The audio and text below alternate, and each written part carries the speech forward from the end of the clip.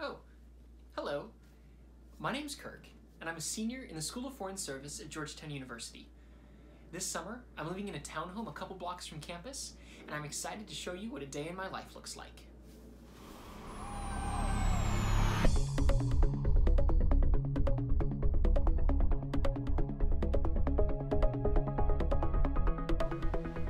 This summer, I'm working as an intern in the Office of Communications at Georgetown. A lot of my work is focused on boosting Jack the Bulldog's online and social media presence. I've been taking a bunch of pictures and making videos of Jack, including this video that I put together to commemorate the Summer Olympics.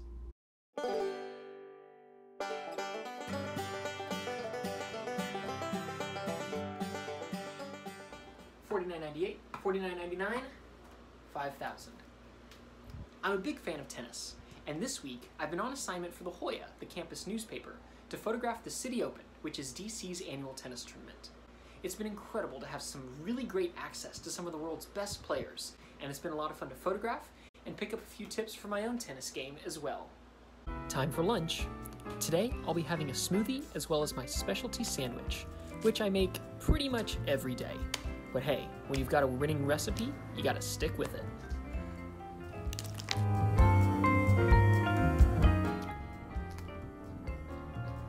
During lunch, I like to do something that gives myself a break. Today, I'll be going through a lot of the pictures that I took at the tennis tournament last night.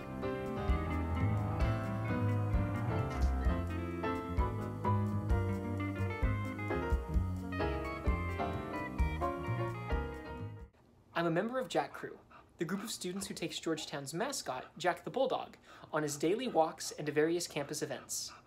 Throughout the summer, I've been taking Jack on walks across campus and throughout the Georgetown neighborhood, and we're also working on training him how to skateboard so that he can be ready to do so during the basketball games this winter. To get some exercise, I'm meeting up with some of my friends to play soccer.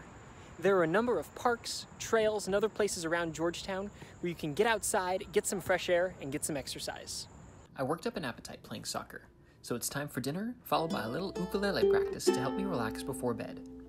I picked up the ukulele as a hobby when I was home during quarantine last summer. Since then, I've loved learning to play some of my favorite songs, and I'm consistently cheered up by this happy instrument.